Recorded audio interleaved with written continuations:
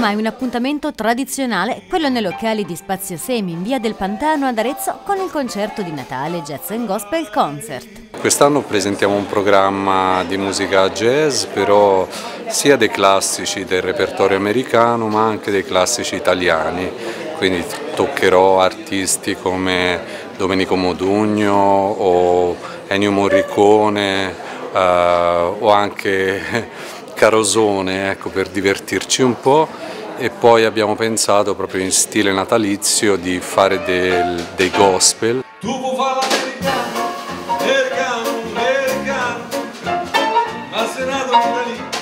questa occasione ho invitato tre persone che sono molto vicine a me, che sono i miei nipoti e tutti quanti fanno musica, fanno teatro, hanno studiato musica e sono dei cantanti, quindi Lucio, Elisa e Giulia Bruschi saranno con me insieme a un quartetto di jazzisti.